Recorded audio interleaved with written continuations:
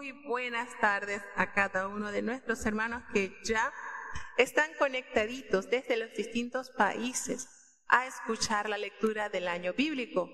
Hoy estaríamos cerrando entonces con los capítulos 29, 30 y 31 del libro de Proverbios. Bienvenidos, niños, jóvenes, adultos, ancianos, todos los hermanos que día a día nos han acompañado durante este viaje a través de las páginas bíblicas. Hoy cerrando entonces con el libro de Proverbios, de mucha bendición, de gran edificación, si consideráramos un solo versículo por cada capítulo, podríamos tener grandes joyas de valor en nuestra vida porque ayudarían a forjar nuestro carácter, nuestro temperamento ante diversas situaciones de la vida diaria. Está sumamente suculento este libro. Vamos entonces a presentarnos a Dios en oración para comenzar con nuestro viaje por las últimas páginas de este libro. Bendito Padre Celestial, Dios de eterna bondad, de rica y de abundantes misericordias, ante tu divina presencia estamos, Señor. Te adoramos y te exaltamos, porque solo tú eres digno de toda honra y de toda gloria. Señor, ¿a quién iremos? ¿A dónde iremos? Si solamente en ti hay palabras de vida eterna. Gracias, Padre amado por esta preciosa oportunidad que nos concedes día a día de aprender de tu santa y bendita palabra. Guía nuestro caminar, Señor. Permite que en nuestra vida haya la necesidad constante de vivir en santidad y en justicia. Padre bueno, perdona nuestros pecados, faltas, errores cometidos, pues tu palabra nos enseña que ante tu presencia no hay hombre que no peque. Pecamos en pensamientos, pecamos en acciones, pecamos en palabras. Ayúdanos a cambiar, Señor, a corregir nuestra manera de pensar, a actuar conforme tú nos has enseñado, porque nos has dado ejemplo para que como hiciste, Señor, también nosotros podamos hacer. Padre, te presentamos esta programación, permite que sea de bendición para cada oyente, cada hogar, cada país que ya está conectado para leer tu palabra. Alienta nuestros corazones, prepara nuestras mentes para recibir palabra del cielo y poder ponerla por obra en nuestras vidas. Te presentamos los niños para que tú les ayudes, les bendigas, les prosperes, les cuides, Señor, los jóvenes que puedan tener ese temor santo en su corazón, que huyan del pecado, Señor, de las pasiones juveniles que acechan su vida. Los adultos, conforme a nuestras responsabilidades, ten misericordia y capacítanos, Señor. Te presentamos los ancianos, Padre bueno, hombres y mujeres que han invertido sus años, su vigor en tu pueblo, en tu obra.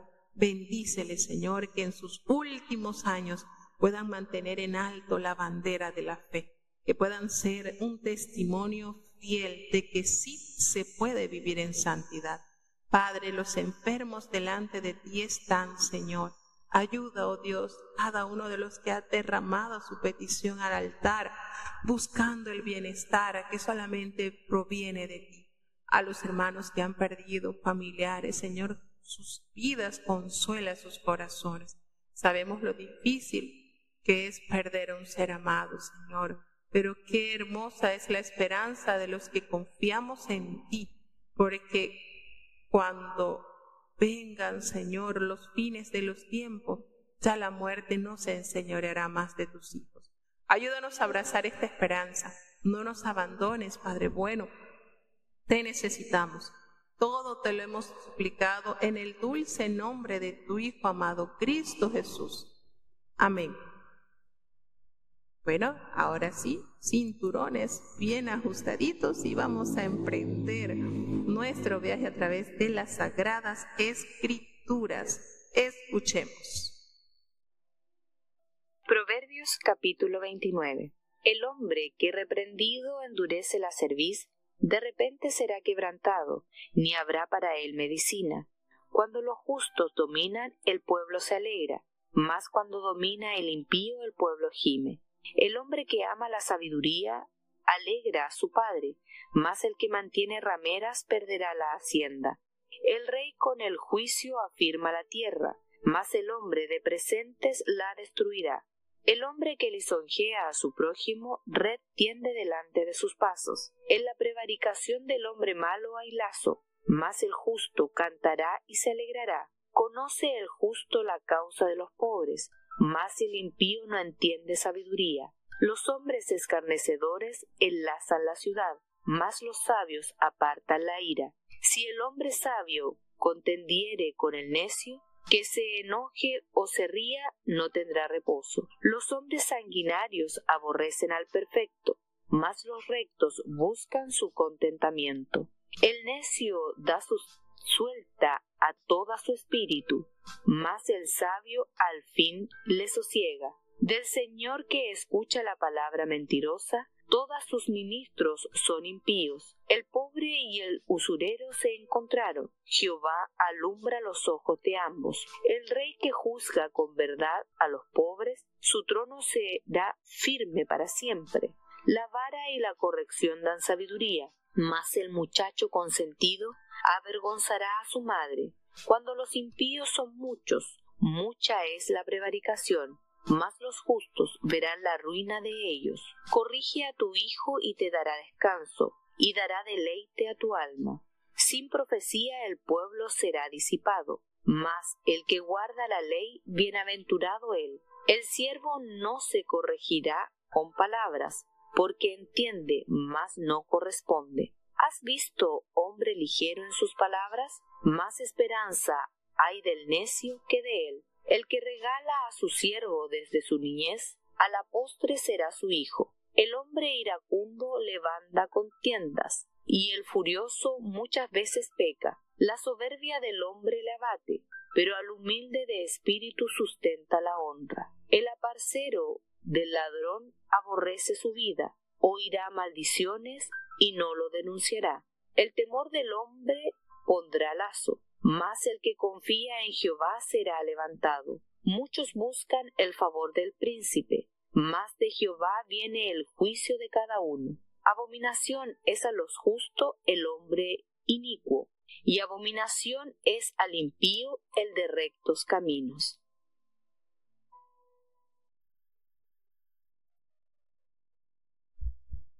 Bueno, ya estamos entonces para terminar con este libro nos quedan solamente tres capítulos para hoy, el 29, el 30 y cerramos con el capítulo 31.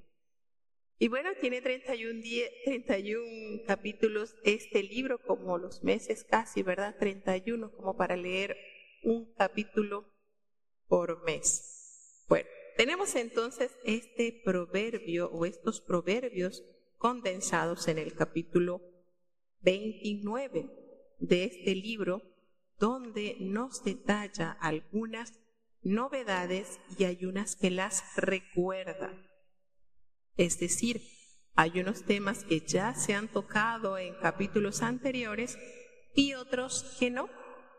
Nos dice en este capítulo que el hombre que es reprendido va a endurecer el, hombre que reprendido endurece su posición, es decir, no le hace efecto positivo esa reprensión, su quebranto será de repente y triste y lamentablemente no habrá para él medicina.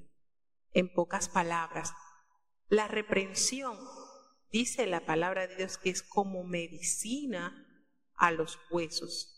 Pero si no la sabemos aprovechar y valorar, tristemente será quebrantado, será castigado, vendrá el mal y entonces allí sí no habrá solución. Porque de eso se trata la reprensión, de evitar un mal, de corregir una conducta, un acto que se haya hecho y ejerce mal, mal sobre el que lo hace y mal sobre aquella persona también que lo recibe o la situación.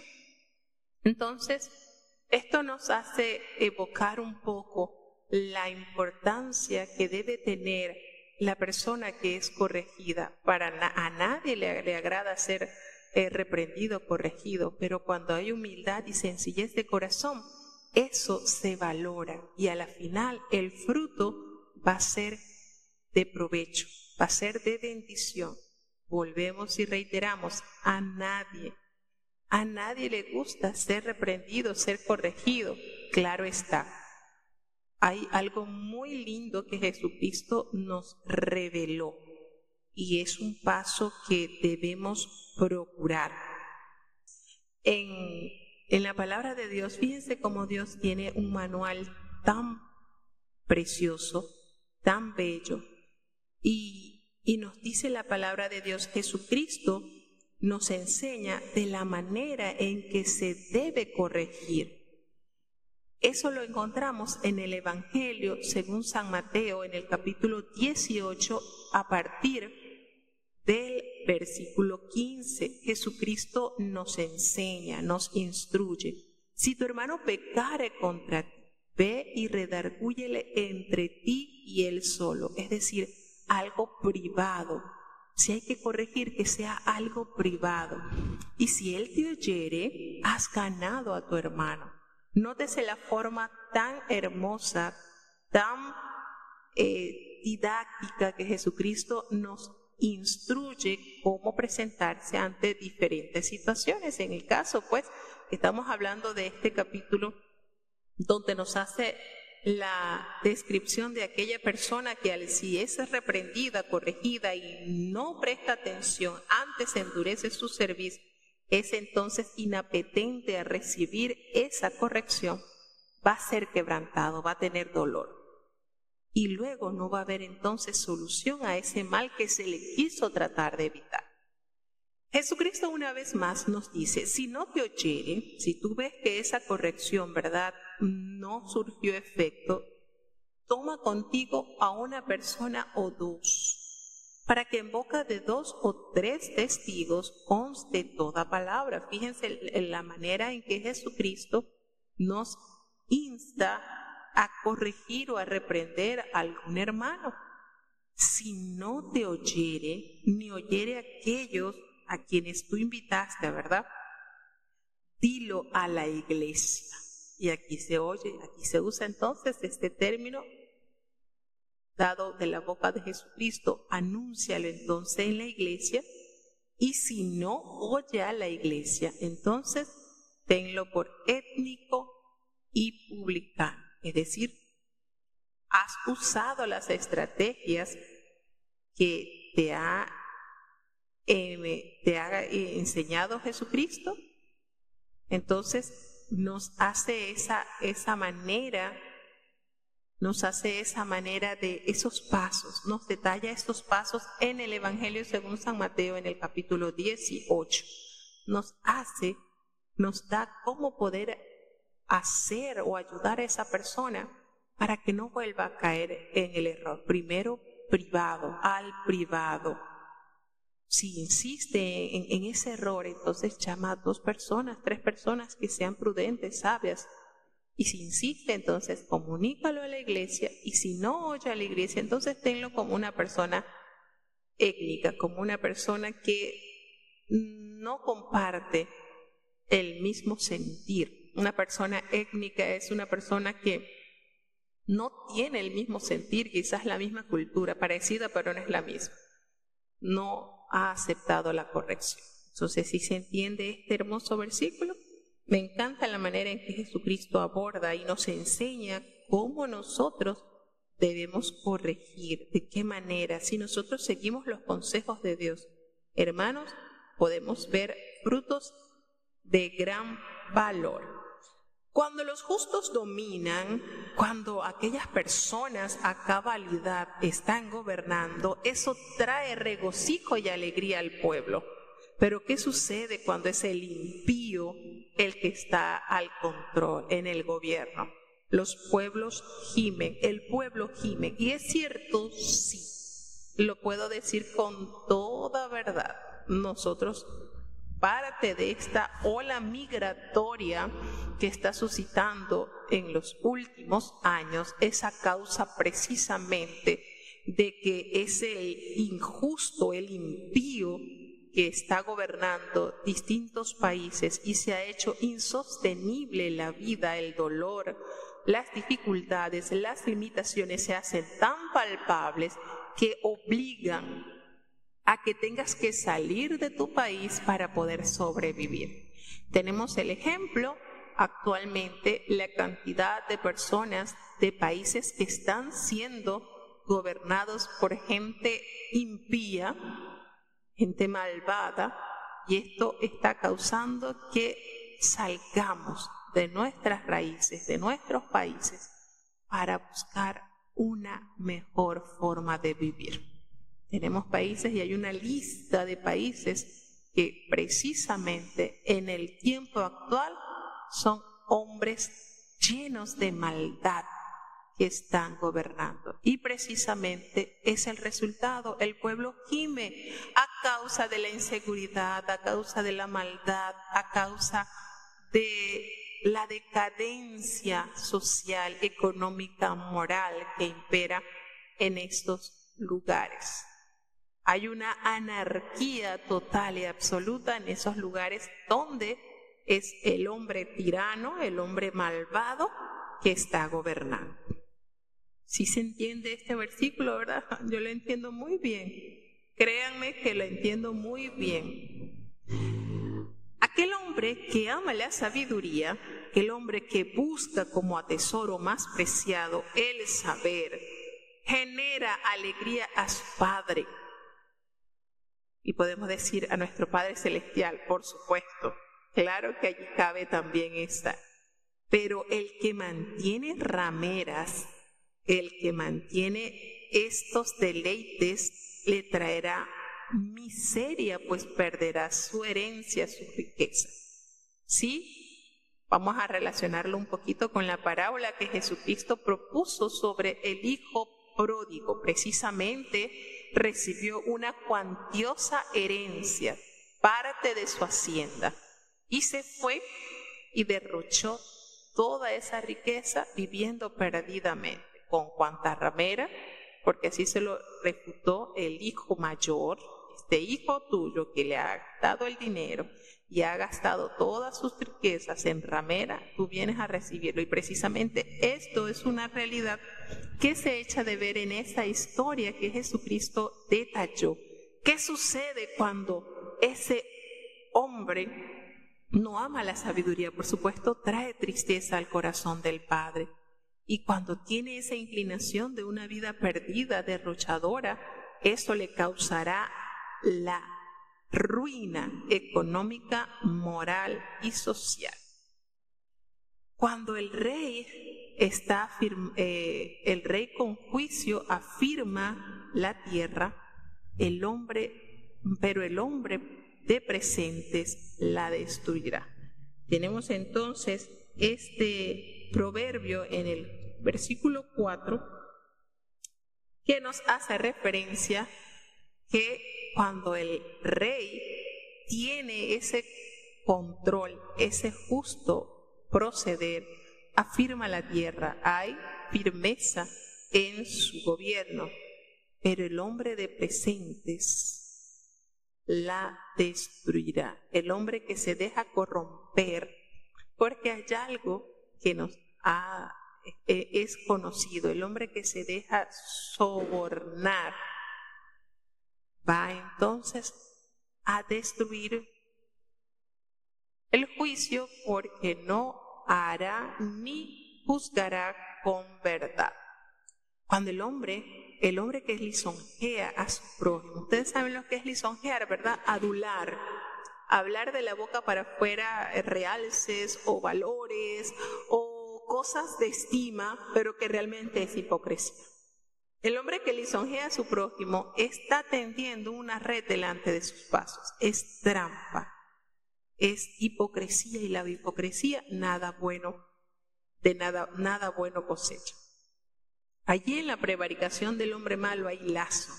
Ellos quedan enlazados, amarrados.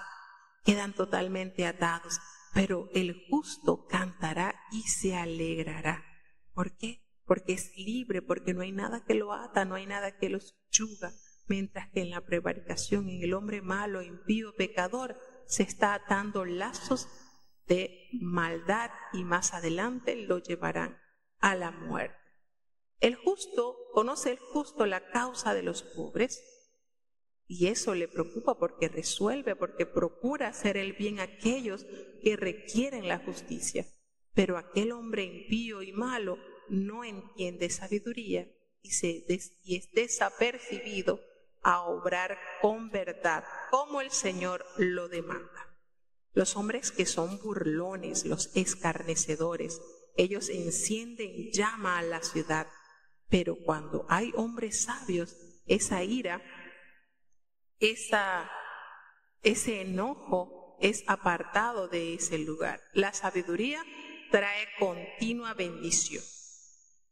Si el hombre sabio contendiere con el necio, imagínense qué sucedería, que se enoje o que se ría, no tendrá reposo. El hombre necio, necio será.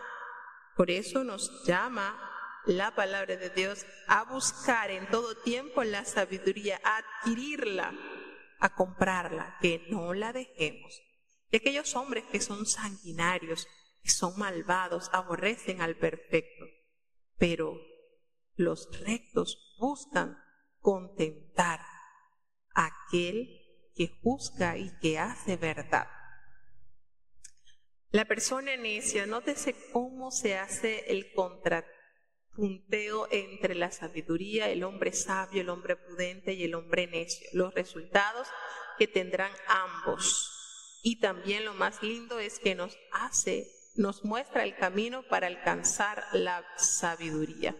La persona necia suelta de todo, suelta a todo su espíritu, lo deja sin rienda, pero el sabio al fin le sosiega. El sabio pone límite a esos sentimientos. Su espíritu no está desligado a la verdad de Dios. Entonces se mantiene en cordura. Del Señor que escucha las palabras mentirosas, todos sus ministros son impíos. Aquellas, aquellas personas que tienen la oportunidad o han sido para gobernar y están rodeados de ministros impíos, pues su deleite está en la mentira y por supuesto su gobierno será impío. Nos dice en el versículo 3, el pobre y el usurero se encontraron. Imagínense, el pobre que necesita eh, suplir sus necesidades y el usurero que requiere hacer, que requiere una víctima para poder entonces aprovecharse de la necesidad del otro. Jehová alumbra los ojos de ambos. Y uno dice aquí, bueno, el Señor nos nos conduce por el camino de la verdad. Nos conduce para que obremos piamente y no llenos de maldad. El pobre a trabajar y a buscar en honestidad y el usurero a no buscar riquezas malavidas. El Señor nos alumbra, el Señor, el Señor indica, el Señor indica a cada quien el modo de proceder que debemos tener. la invitación de Dios es, ha sido constante ha sido constante buscar el camino de la santidad, no dejar las sendas antiguas. El Señor nos instruye a través de su palabra. El pobre que debe tratar, trabajar, manos de negligentes siempre van a ser pobres, pero cuando hay la diligencia de trabajar, siempre el Señor va a través del fruto de trabajo proveer. El rey que juzga con verdad a los pobres, ¿qué pasa? Dios lo bendecirá y su trono será firme para siempre, porque no hace acepción de personas, no justifica al rico y desecha al pobre. Rey, el rey juzga con integridad a todo aquel que se llega a él para alcanzar justicia. Qué importante es la vara y la corrección, pues dan sabiduría. Es decir, estos dos elementos ayudan a que la necedad sea parte del corazón de un muchacho, como dice el proverbio, ¿verdad? La necedad está ligada al corazón del muchacho, pero con la vara de corrección se aparta, se aleja de él. Y nos dice en este versículo 15 que es y la corrección dan sabiduría, pero el muchacho que es consentido, aquí en Panamá al niño o al jovencito que se consiente mucho le dicen mangonguear, es muy mangongo. No entendía esa palabra hasta que llegué acá y me explicaron, ay, ese niño lo que está es mangongo. Mangongo es que lo miman mucho, lo consienten mucho. Ese niño que es sumamente consentido, no se corrige, no se usa la corrección, a la postre va a ser vergüenza a su madre, y no solamente a su madre, a sus familiares. El entorno donde está traerá entonces de cosecha vergüenza. Cuando los impíos son muchos, ¿qué sucede? Abunda la prevaricación, pero los justos van a ver la ruina de ellos, es decir, puede haber mucha maldad y mucha miseria, pero aquellos que se mantengan íntegros, firmes ante la verdad de Dios, verán la justicia divina recaer sobre ellos. Y claro que sí podemos darlo por sentado. La palabra de Dios nos revela cómo Lot fue llamado justo y vio la ruina de aquellos hombres malvados, impíos, que procuraban hacer el mal. Entonces esta promesa, claro que es real.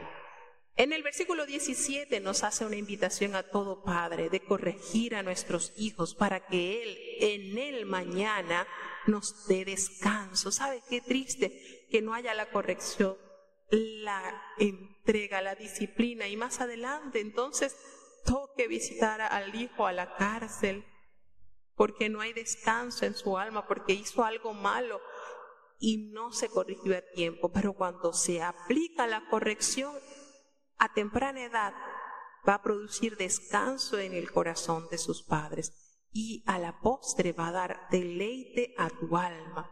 Qué hermoso es ver los frutos del vientre en bendición, en servicio a Dios.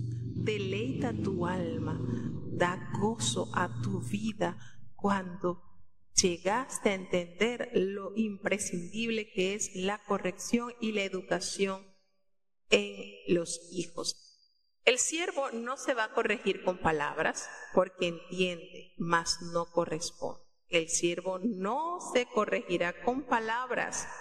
¿Por qué? Bueno, porque nos dice acá que entiende.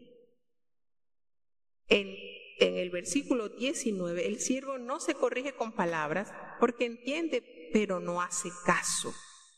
Entonces, ahí es cuando entra en acción la corrección. Él entiende, pero no hace caso.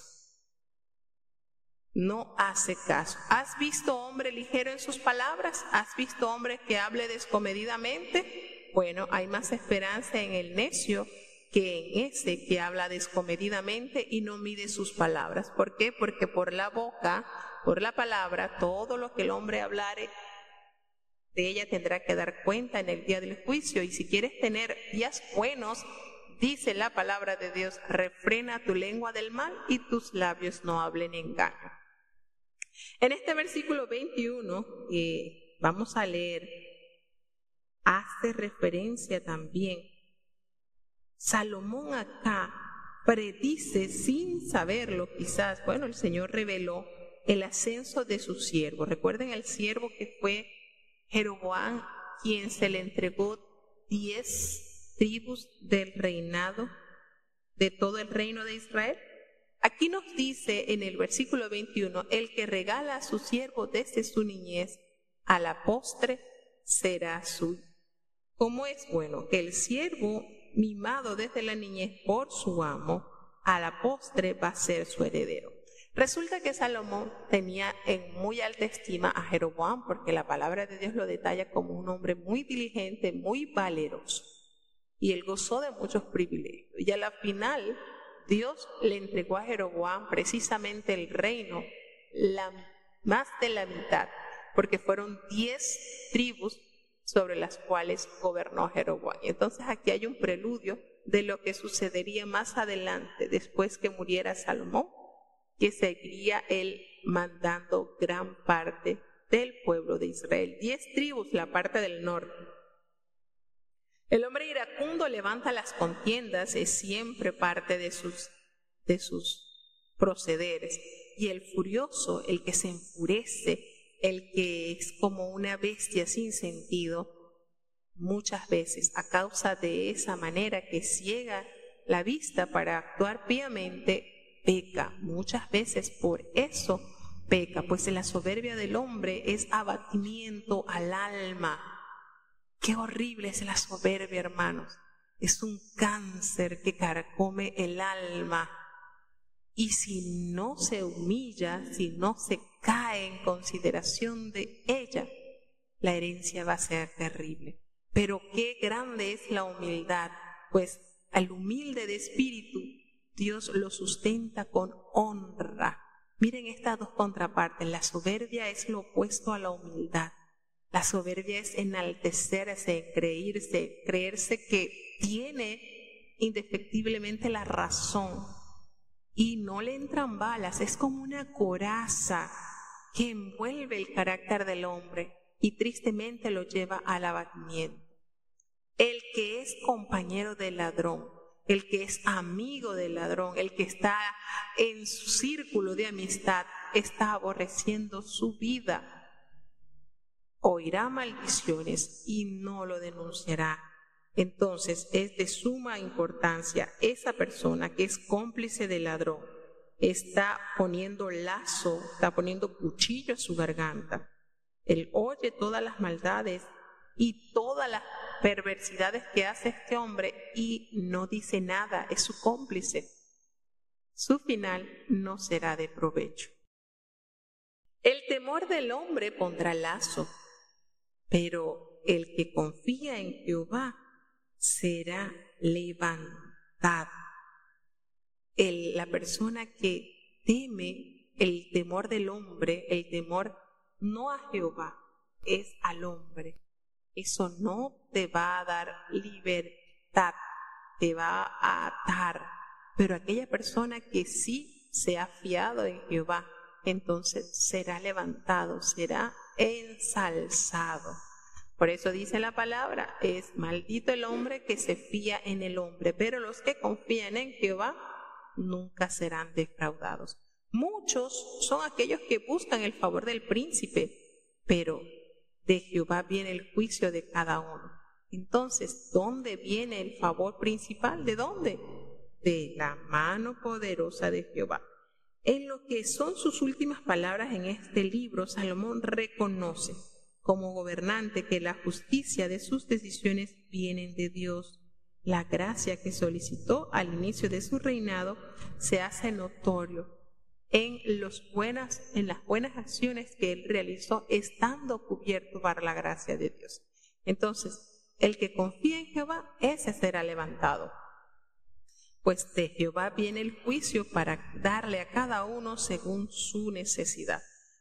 Abominación es a los justos el hombre inicuo, el hombre justo, el hombre que mantiene su vida en santidad, es terrible a sus ojos el hombre malvado, no apoya esas acciones. Y abominación es al impío el recto de camino. Entonces, esto es algo así como recíproco. Pudiéramos decir que este versículo es algo recíproco. El justo no tiene armonía con el impío y el impío no tiene armonía con el recto. Entonces, preocúpese cuando usted ve a los pecadores a la gente mala, a la gente prevaricadora y le hace gracia. Preocúpese, porque entonces no está sintiendo lo que debe sentir un hombre que ha sido justificado y santificado para tener una vida recta. Entonces, como dice el Salmo, aquellos a cuyos ojos es menospreciado el vil, pero honra a los que temen a Jehová. Y aquí también el impío siente aversión por el recto, porque no hay armonía, la luz con las tinieblas. Seguimos avanzando entonces al Proverbio 30. Proverbios capítulo 30. Palabras de Agur, hijo de Jasé, la profecía que dijo el varón a Itiel, a Itiel y a Ucal, Ciertamente más rudo soy yo que ninguno, ni tengo entendimiento de hombre. Yo ni aprendí sabiduría, ni conozco la ciencia del santo. ¿Quién subió al cielo y descendió? ¿Quién encerró los vientos en sus puños? ¿Quién ató las aguas en un paño? ¿Quién afirmó todos los términos de la tierra? ¿Cuál es su nombre y el nombre de su Hijo? Si sabes, toda palabra de Dios es limpia, es escudo a los que en él esperan. No añadas a sus palabras, porque no te reprenda y seas hallado mentiroso. Dos cosas te he demandado, no me las niegues antes que muera. Vanidad y palabra mentirosa aparta de mí. No me des pobreza ni riquezas. Manténme del pan que he menester. No sea que me harte y te niegue y diga ¿Quién es Jehová? Y no sea que siendo pobre hurte y blasfeme el nombre de mi Dios. No acuses al siervo ante su Señor, porque no te maldiga y peques. Hay generación que maldice a su padre y a su madre no bendice. Hay generación limpia en su opinión, si bien no se ha limpiado su inmundicia. Hay generación cuyos ojos son altivos y cuyos párpados son alzados. Hay generación cuyos dientes son espadas y sus muelas cuchillos, para devorar a los pobres de la tierra y de entre los hombres a los menesterosos. La sanguijuela tiene dos hijas, que se llaman trae trae.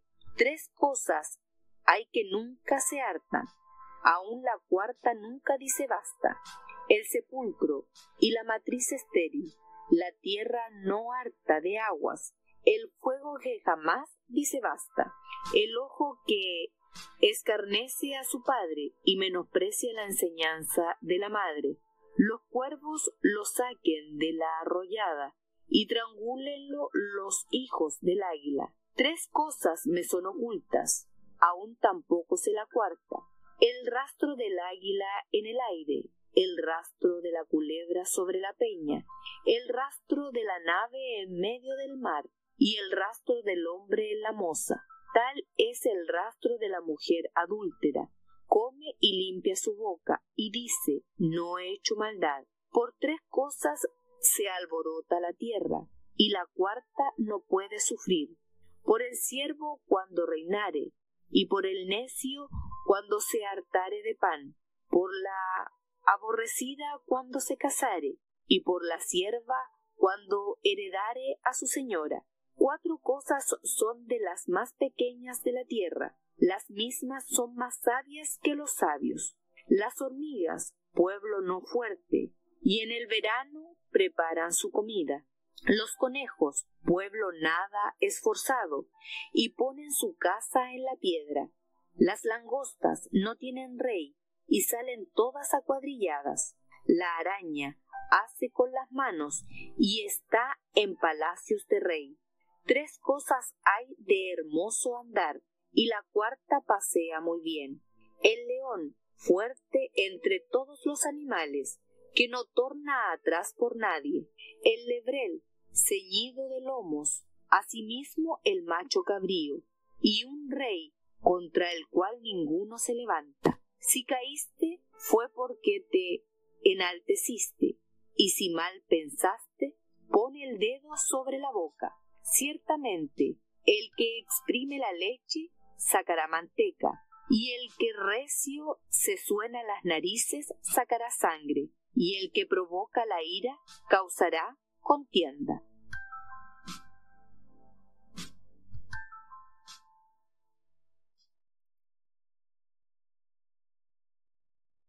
Bueno, aquí tenemos entonces el proverbio capítulo 30 en el cual está adjudicado a Agur.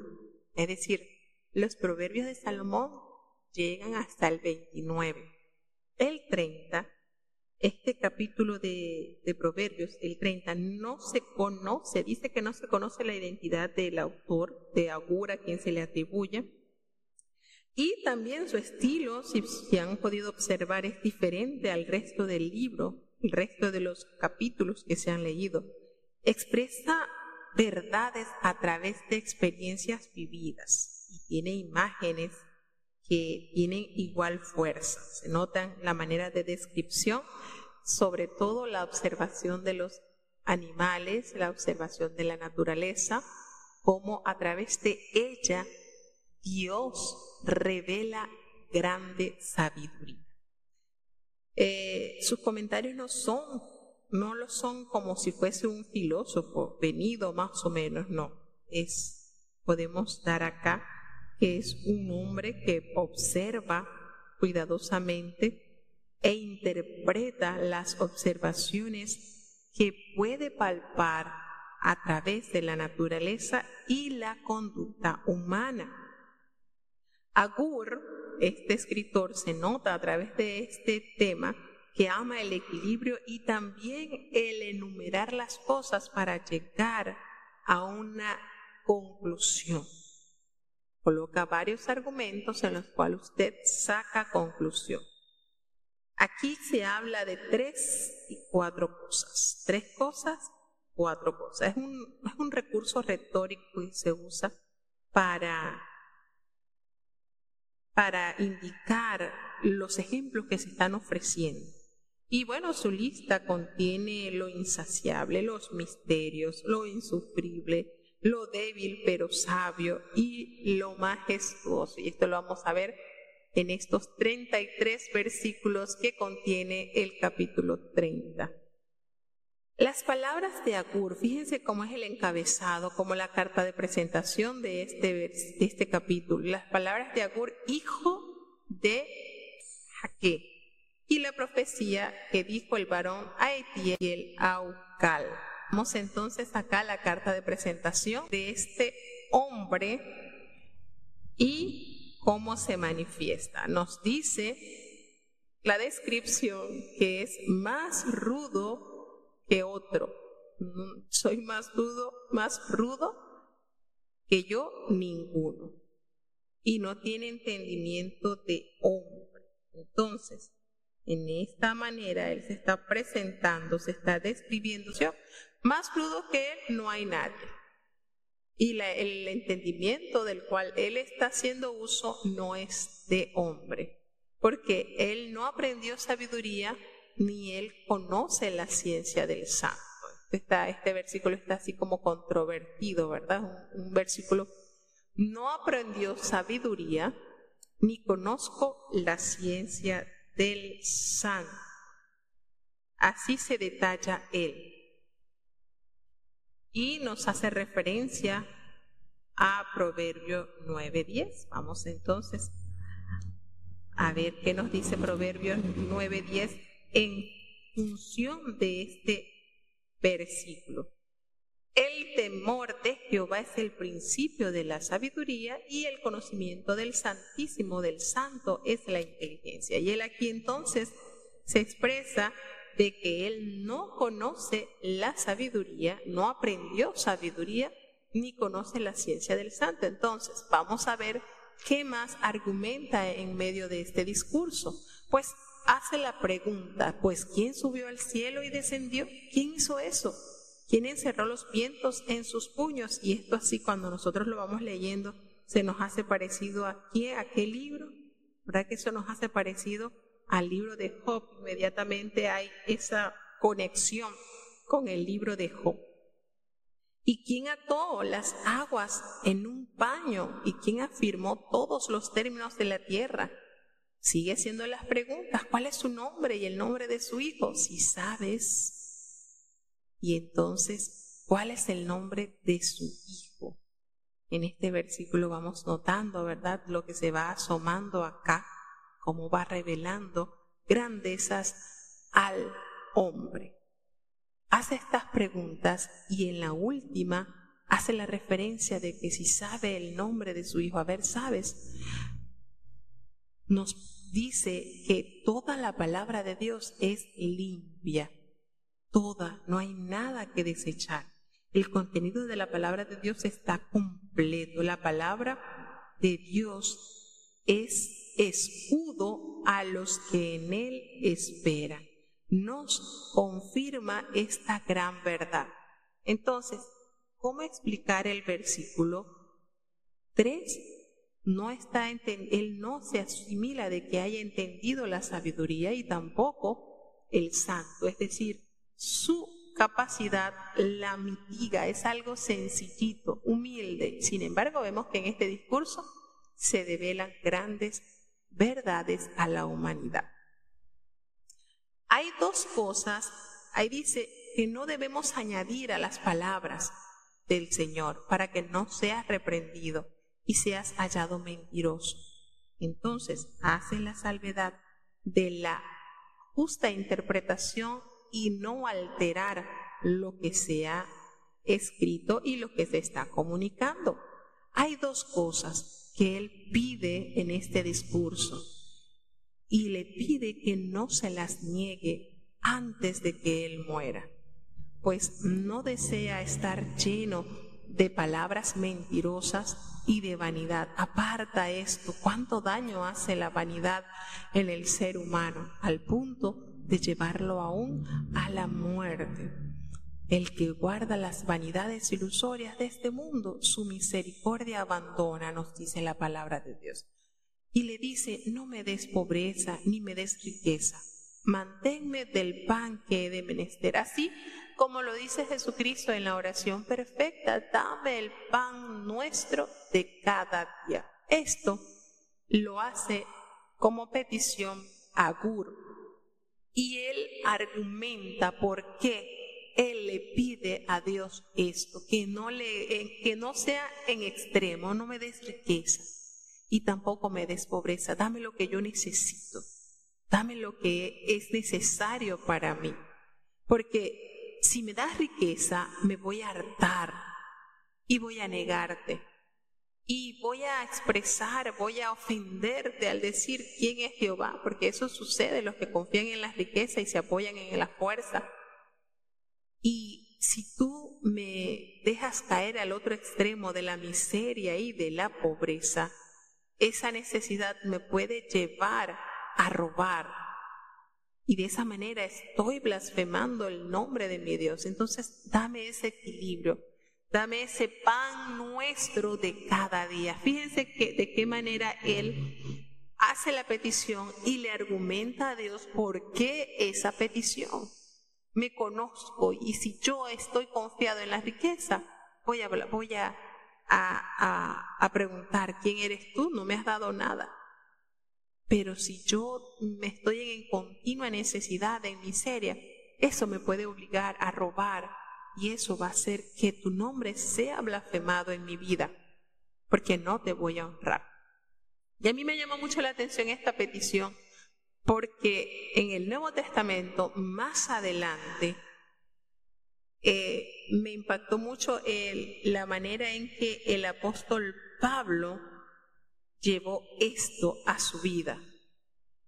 Él esta oración, y es un, contra, un contraste la oración de Agur, la solicitud de él, y, al ver a la posición del apóstol Pablo, notamos la diferencia, es como que el apóstol Pablo había escalado un poquito más alto, un poquito más arriba de lo que Agur había experimentado, porque él está diciendo en este, en el capítulo 8 de la carta de los romanos, él dice que él ha aprendido a tener, a estar, a tener, él ha aprendido a, a tener abundancia y a tener escasez. Fíjense este contraste y los quiero compartir con los hermanos para que veamos hasta qué punto el siervo va a ir asimilando las situaciones que se presenten en su vida diaria. Porque el apóstol hace una interpretación de esto, de estas situaciones que se nos pueden, eh, que se nos pueden presentar. Y él hace referencia, hace una referencia muy clara sobre las situaciones que él ha experimentado. Sé tener abundancia, sé tener en esto, eh, perdón, en el libro de, en la carta de Filipenses, Filipenses 4. vámonos a, la carta de Filipenses 4 para ver el contrapunteo de estas verdades que son de sumo interés para nosotros. El apóstol Pablo dice, escribió a los, a los de Filipo, gozaos en el Señor siempre, siempre. Otra vez, gozaos. Que vuestra modestia sea conocido, sea conocido en todo. Y en el versículo 12 dice, yo sé estar humillado y sé tener abundancia. En todo y por todo estoy enseñado, así para hartura como para hambre, así para tener abundancia como para, padecer necesidad. Entonces, fíjense y vuelvo a la explicación.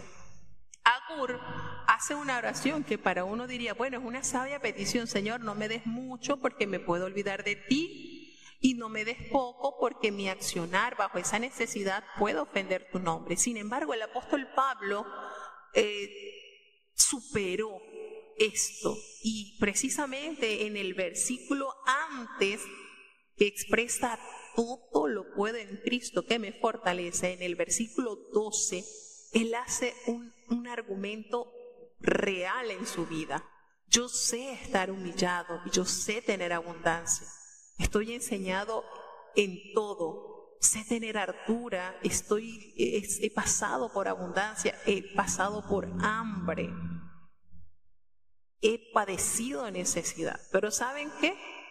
Todo lo puedo en Cristo que me fortalece. Entonces, colocando las dos partes, ¿verdad? Llegar al punto de Pablo, no pidió, Señor, no me des mucho, no me des poco, dame lo necesario es llegar a, un nivel, como diríamos, eh, al nivel, un nivel alfa, es algo superior.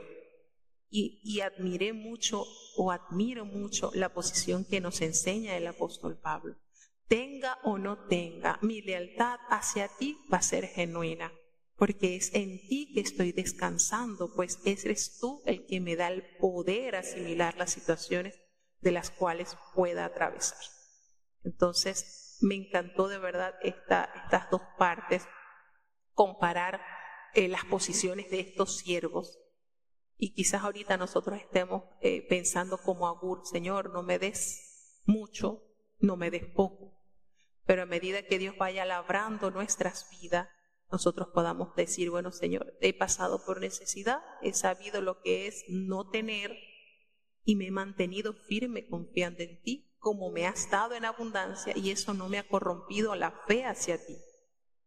Entonces son situaciones, bueno, que, es de valorar y de, y de meditar en esto. Quería compartírselo, pues. Eh, de gran bendición tener una posición más allá de las condiciones. Mi lealtad hacia ti no se puede alterar. Mi lealtad hacia Dios no puede estar condicionada. Debe estar siempre sí y sí. Si tengo, te amo. Y si no tengo, también te amo. Bueno, seguimos entonces avanzando después de haber dado un poquito más de explicación sobre esto. La vanidad y la palabra aparta de mí, aparta de mí esto que me hace daño. Y pueda mantenerme siempre en ti. No acuses al siervo ante su Señor un sabio consejo. ¿Por qué? Porque va a maldecirte y vas a pecar. No lo acuses ante tu Señor. Hay que seguir la línea de consejo que nos enseñó el maestro. Primero llámalo aparte, solito. Si no te escucha, busca dos testigos. Y si no, bueno, y entonces, pero apliquemos lo que Dios nos está enseñando. Apliquemos es apliquemos lo que el Señor nos, está instruyendo a través de su palabra. Realmente es de gran importancia que nosotros procedamos tal cual el Señor nos ha indicado para tener los resultados que son realmente de beneficio. Hay generaciones que maldicen a su padre y podemos decir en la actualidad que esa generación está viviendo ahorita y por eso nos atrevemos a decir que el tiempo de vida en esta generación es corta. porque la promesa de Dios dada a su pueblo está concentrada en el quinto mandamiento y nos dice que honra a tu padre y a tu madre porque tus días se alarguen en la tierra que Jehová tu Dios te da. Podemos decir que estamos viviendo esta generación que maldice a su padre y por tal motivo no se adueña de la bendición que otorga el Señor al guardar el quinto mandamiento.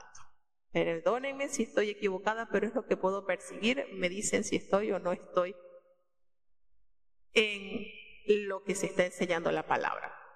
Y hay generaciones que para ellos, en su opinión, está bien, pero están muy llenos de inmundicia.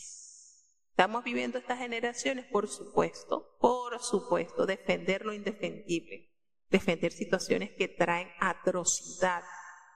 Y hay generaciones que son limpias en su opinión. Y esto es una cosa que lo viste, que a uno le queda decir como, bueno, por poco un poquito más y me persuaden a aceptar, me persuaden a aceptar atrocidades como el aborto, como cosas que, que destruyen al hombre y lo alejan de Dios.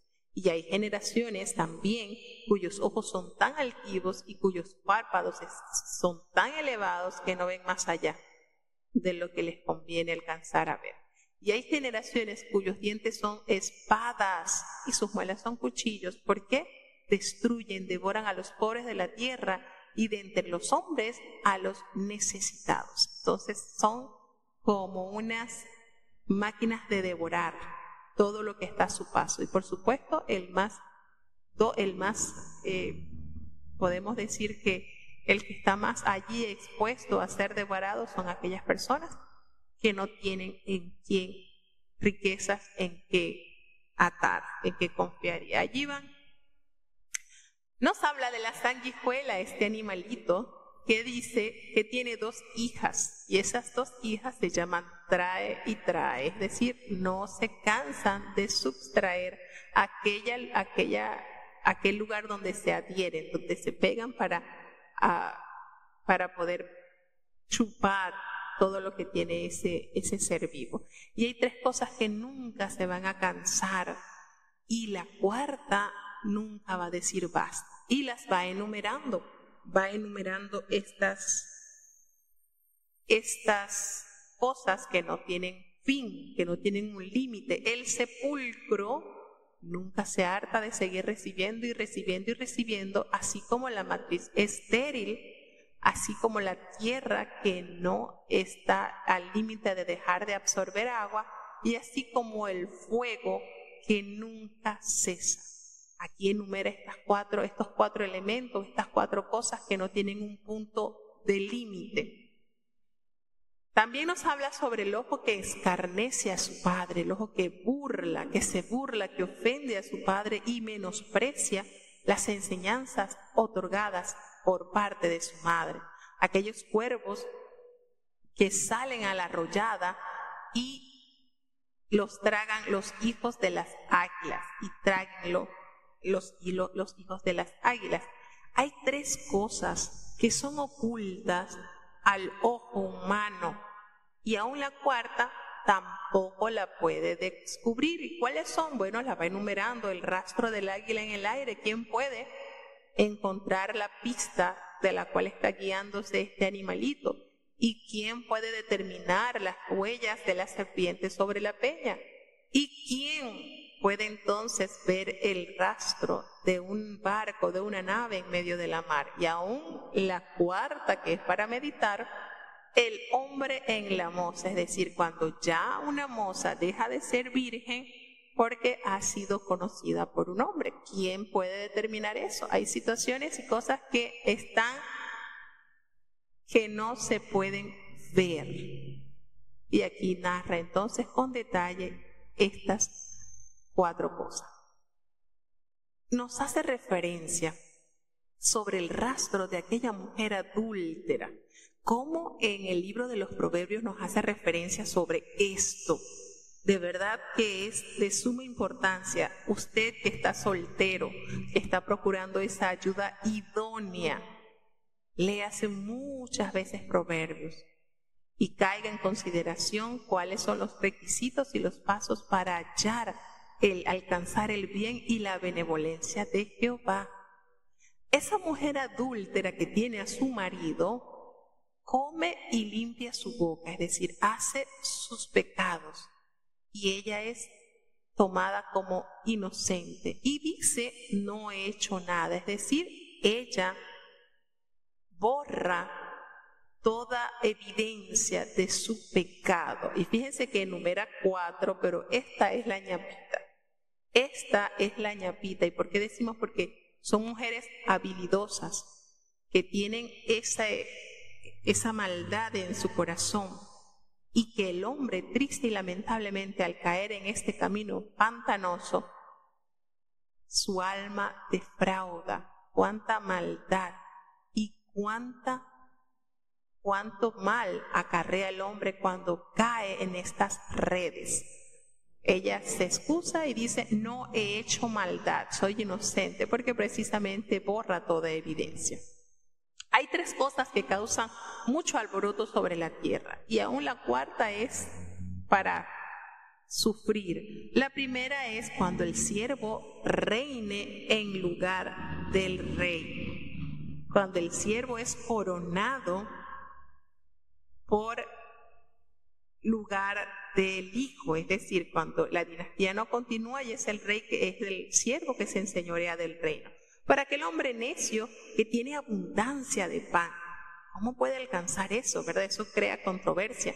Y por aquella mujer que ha sido aborrecida, que ha sido engañada en otras oportunidades, pero se casa con todos sus honores, eso trae crea un poquito de, malestar. Y aquella sierva que heredare las riquezas de su señora.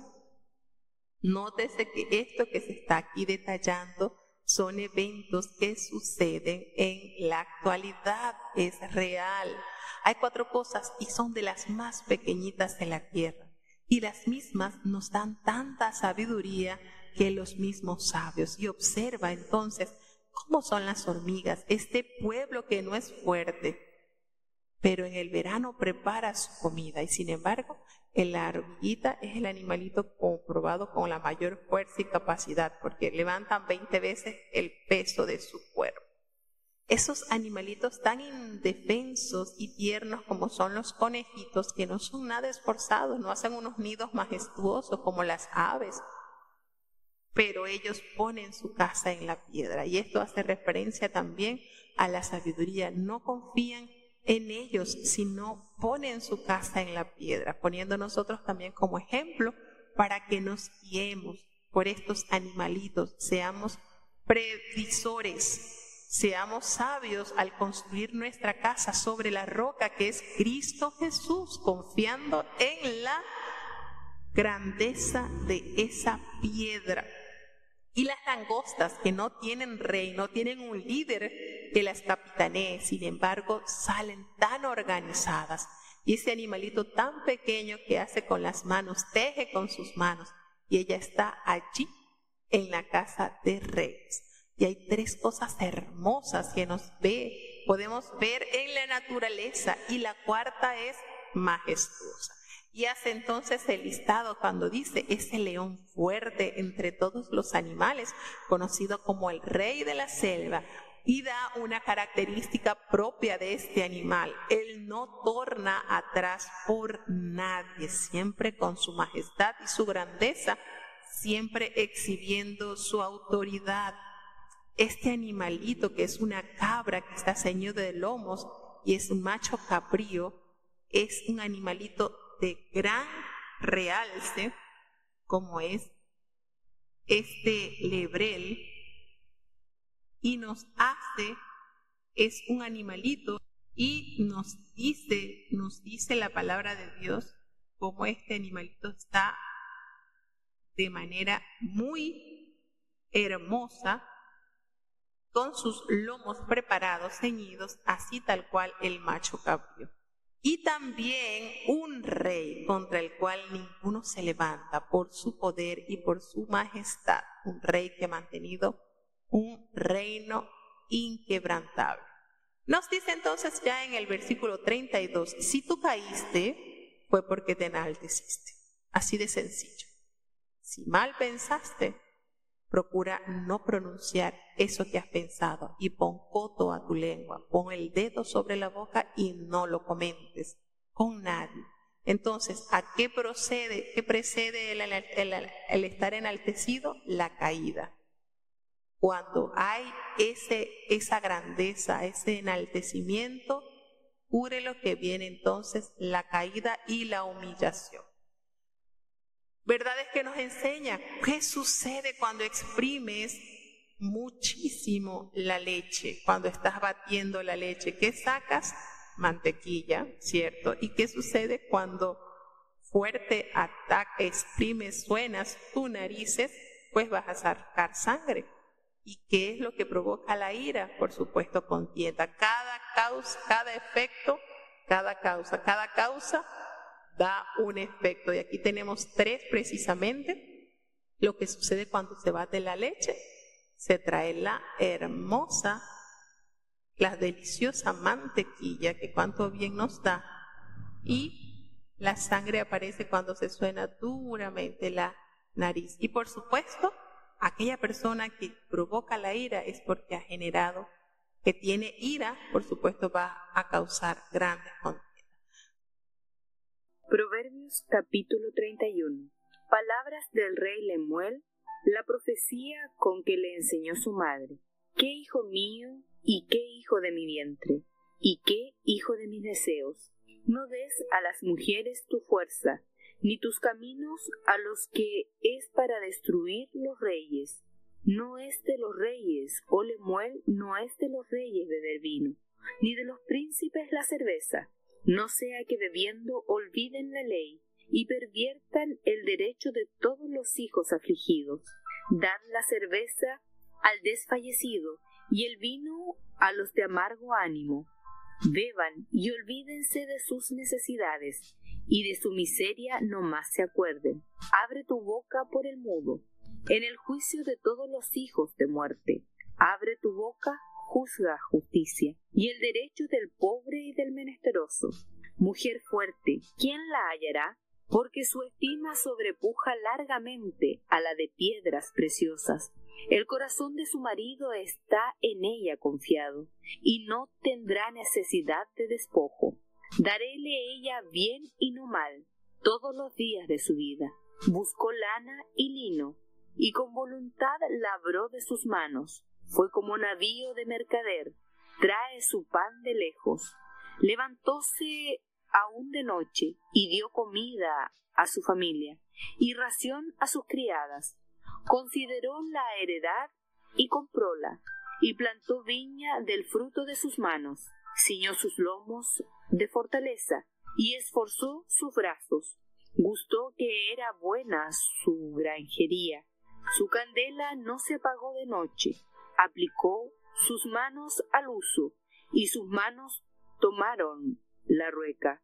Largó su mano al pobre, extendió sus manos al menesteroso.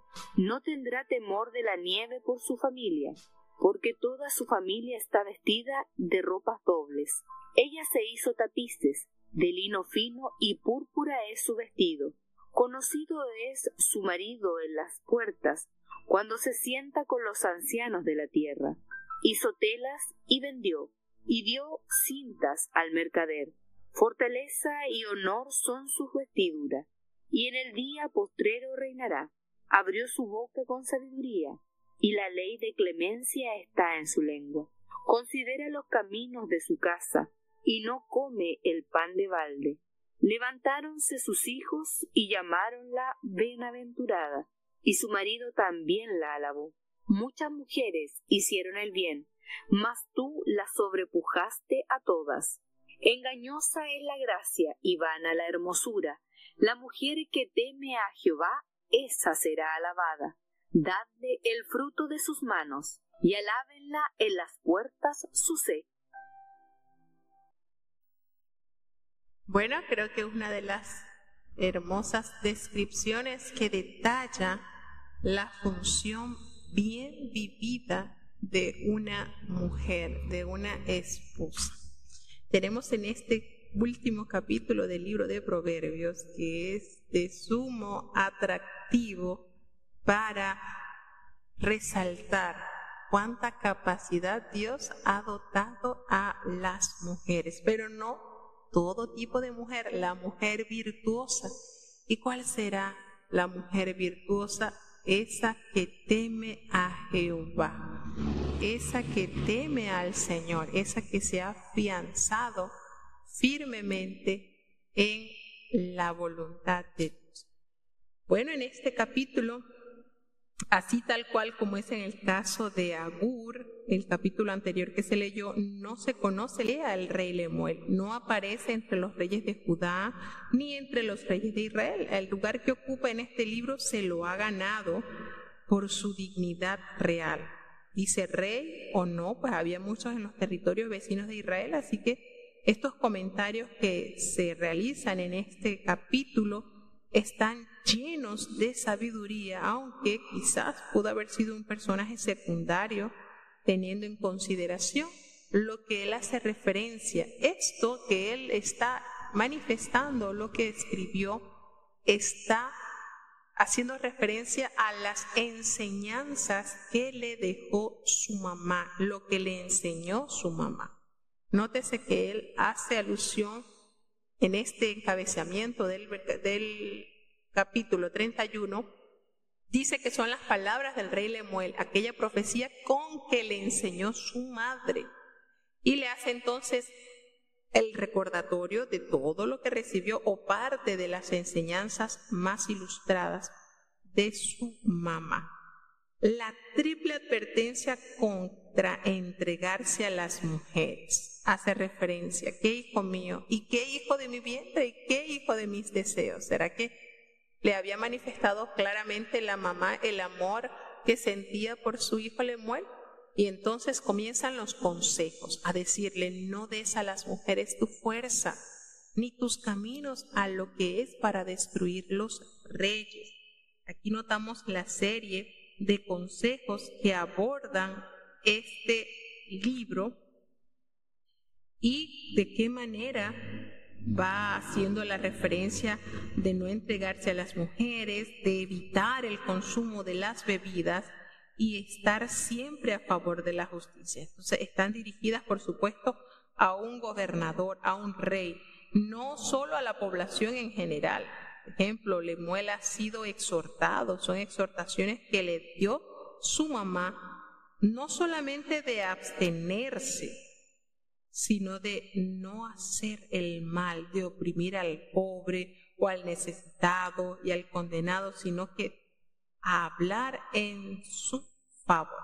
Entonces, la idea es que alguien con autoridad debe ser metido de acuerdo con normas muy estrictas, que es el promedio de la gente, pues es un, un principio que Salomón violó abiertamente cuando empezó a coleccionar los caballos y comenzó a tener mujeres de otras naciones y empezó a recoger oros en exceso para.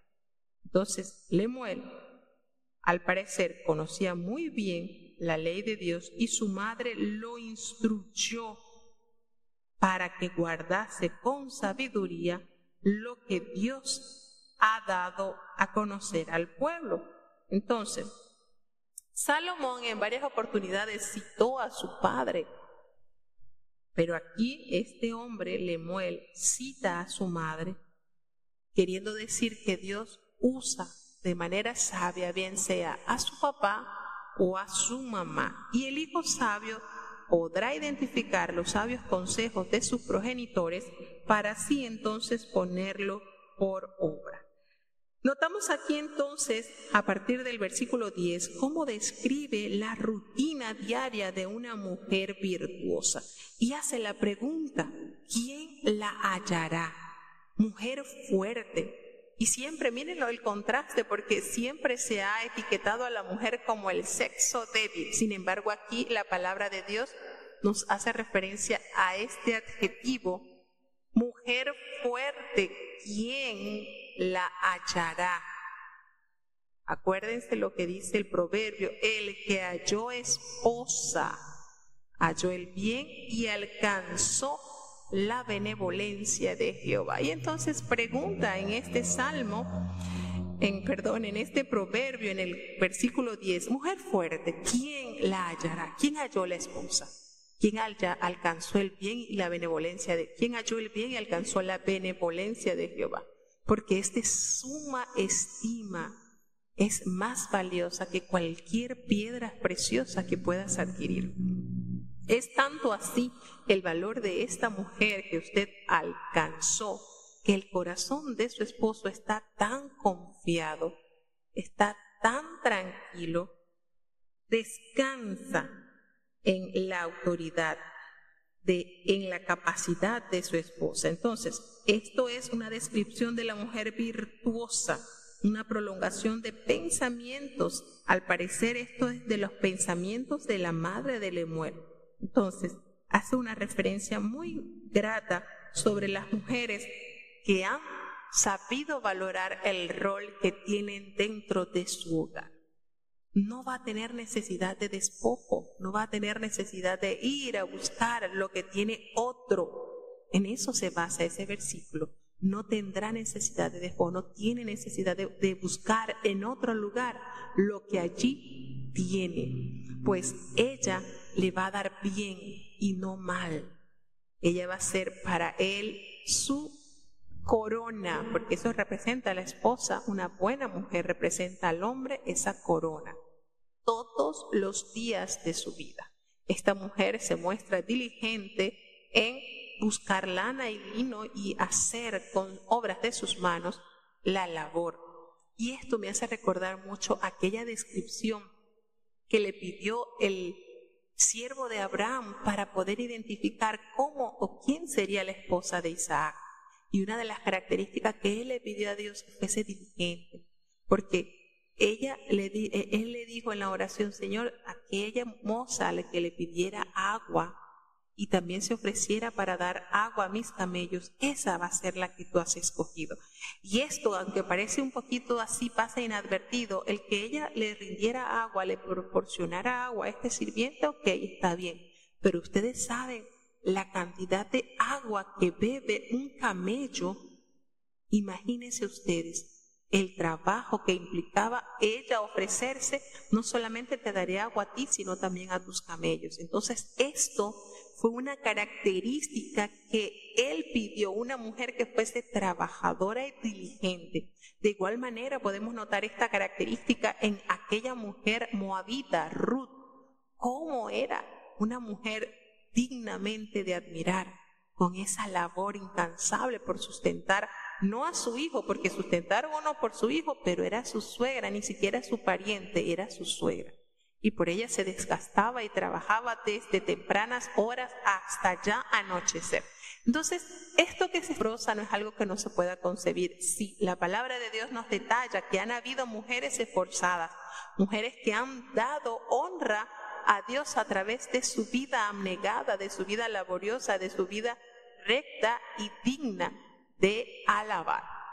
Entonces nos hace la referencia que ella se levanta aún de noche a oscura y sirve comida a su familia y le da aún a sus criados, a aquellos que no son familia, también reciben beneficio, pues esta mujer trae el pan de lejos, hay un esfuerzo masivo en ella por procurar el sustento a su familia.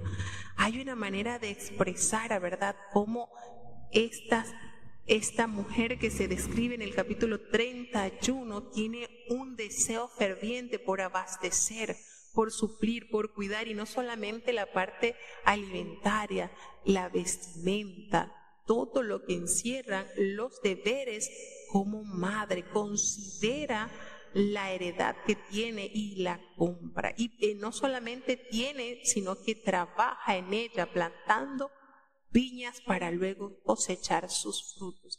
Ella vistió sus lomos de fortaleza. Hubo fortaleza y esfuerzo en sus brazos, diligencia trabajadora.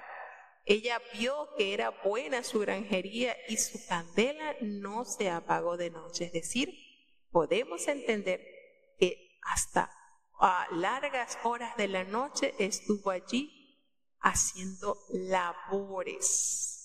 Esto tiene varios sentidos. Aplicó sus manos al uso, a la costura, y sus manos tomaron la rueca. Esto hace que ella tenga aún para asistir al pobre y al necesitado. Cuando vengan los tiempos de frío, su familia no tendrá temor porque ella se ha provisto de buena ropa, para eso ha trabajado, para que su familia no perezca ha elaborado vestidos y tapices y su marido es conocido en las puertas. Allí donde se le paran a hablar, en las puertas, en las ventanas, allí es conocido la bienaventuranza que tiene este hombre al haber hallado a esa mujer virtuosa. Aún los ancianos de la tierra le admiran por esa adquisición, pues esta mujer hizo telas y dio cintas y cuál es la vestidura de ella, la fortaleza, su fortaleza y el honor, porque cuando ya ella sea mayor, ella reirá de todas las cosas que Dios le permitió alcanzar. Ella abrió su boca con sabiduría y la ley de la clemencia está en su lengua. En ella no solamente se ve, sino se oye la ley también del Señor. Ella considera los caminos de su casa y ella no come pan de gratis porque bien esforzada y trabajadora y diligente es aún en la educación de sus hijos, a tal punto que sus hijos cuando crecieron entendieron los privilegios, los grandes atributos que tiene su mamá y la sintieron y la llamaron a bienaventurada. Y su marido, por supuesto, que también alabó esa labor que ella realizó con tanto amor. Hubo muchas mujeres que hicieron cosas buenas, pero esta definitivamente las alcanzó, las superó. Nos dice y nos cierra el consejo de este capítulo, cuidado, engañosa es la gracia y vana es la hermosura, pero aquella mujer que teme a Jehová, esa será alabada. Puede ser muy linda por fuera, puede tener un cuerpo esbelto, hermoso, puede tener una mirada y unos ojos preciosos, pero si en ella no hay temor de Jehová, hermano, no se embarque en ese tren, porque su fin va a ser triste. ¿Cuál es la principal característica que usted debe buscar en la futura madre de sus hijos? Que tenga el temor bien profundo al Señor. Porque esa que teme a Jehová, esa va a ser alabada. Porque del fruto de sus manos, todas las puertas, sus hechos comentarán. Entonces es un hermoso capítulo que nos detalla lo maravilloso que es el comportamiento de una verdadera mujer de Dios. Hasta aquí llegamos entonces con el libro de Proverbios. Oremos. Querido Padre Celestial, Dios de eterna bondad, de rica y de abundantes misericordias, ante tu divina presencia estamos, Señor. Te adoramos y te exaltamos porque solo tú eres digno de toda honra y de toda gloria. Señor, ¿a quién iremos si solamente en ti hay palabras de vida eterna? Gracias, Padre bueno, por todas las bondades recibidas de ti. Ayúdanos, Señor, cada día a caminar en santidad y en justicia. Te presentamos, Padre bueno, esta hermosa hermandad que desde los distintos países se conectan cada día, Señor.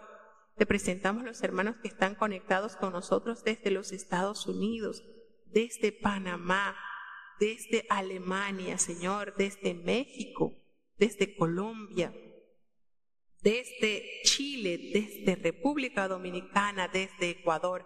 Bendice cada lugar, Señor, cada hogar que abre sus puertas para escuchar de tu palabra, porque tus promesas son reales, Señor. Tu palabra nos enseña el efecto de escuchar, de, de vivir conforme a tu voluntad, pues tu palabra así como desciende de los cielos la lluvia y la nieve y no vuelve allá, sino que harta la tierra y la hace germinar y producir y dar pan y dar simiente al que siembra y pan al que come. Así, Señor, será tu palabra que sale de tu boca. No volverá a ti vacía, antes hará aquello para lo cual la has enviado y será prosperada en aquellas personas a quien les envías de tu palabra, Señor. Gracias por los niños, por los jóvenes, por los ancianos, los enfermos, Señor, tú los conoces. En tus manos están. Seguimos orando a favor de ellos. Ten piedad, Señor. Ampáranos, cuidándonos, Señor, de caer en los lazos del mal. No nos abandones, te necesitamos, Señor. Todo te lo he pedido en el dulce nombre de tu Hijo amado Cristo Jesús. Y ahora te pedimos, Señor, que el bendito amor de Dios, la gracia y la paz de nuestro Señor y Salvador Jesucristo, la compañía y comunión de tu Espíritu Santo, quien es nuestro gran consolador, sea con cada uno de tus hijos, nos guarde desde ahora y para siempre. Amén.